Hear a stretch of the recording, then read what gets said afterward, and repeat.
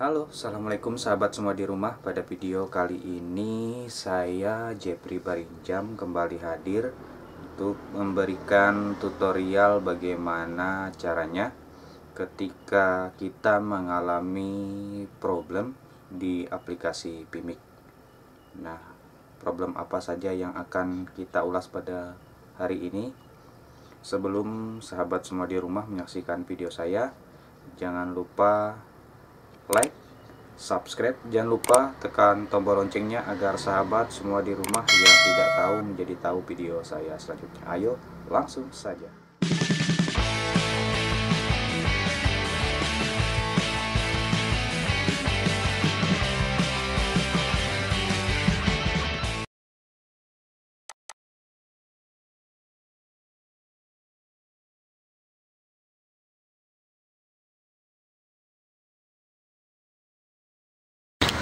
Caranya simpel saja sahabat. Yang pertama sahabat lakukan ialah buka pada lokal disk C.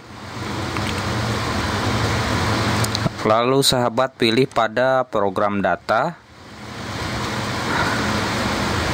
Selanjutnya sahabat pilih folder Vimic. Di situ ada file yang bertuliskan video 1.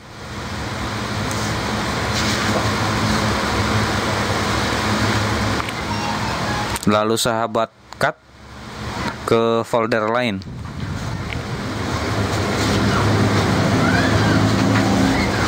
Selanjutnya yang sahabat lakukan ialah merubah nama file tersebut menjadi video tanpa tanda seru sahabat.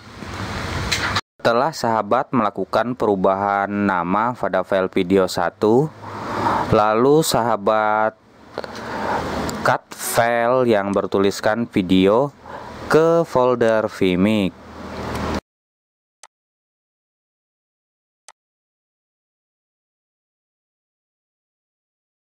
Selanjutnya sahabat keluar dan sahabat buka Vimic.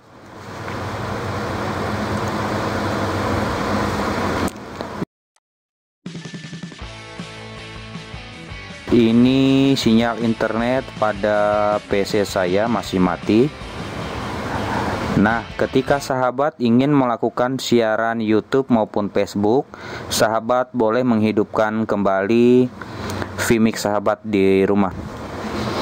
Nah, seperti ini sahabat, biasanya saya sering mengalami kendala ketika menghidupkan internetnya terlebih dahulu. Jadi saya sarankan untuk sahabat sebelum masuk ke aplikasi Vimic, alangkah baiknya sahabat matikan dulu Vimicnya. Setelah sudah masuk pada aplikasi Vimic, selanjutnya sahabat jika ingin melakukan siaran langsung entah itu melalui Facebook ataupun YouTube baru sahabat hidupkan jaringan internet setelah aplikasi Pimik itu sudah terbuka. Selanjutnya, sahabat keluar dan selesai. Nah, ya sahabat, mungkin itu saja video tutorial dari kita. Semoga bermanfaat dan berguna bagi sahabat semua di rumah serta dapat membantu bila video ini bermanfaat bagi sahabat semua. Jangan lupa share jangan lupa subscribe dan tekan tombol loncengnya agar sahabat semua menjadi tahu video saya selanjutnya. Wabillahi topik wal hidayah. Wassalamualaikum warahmatullahi wabarakatuh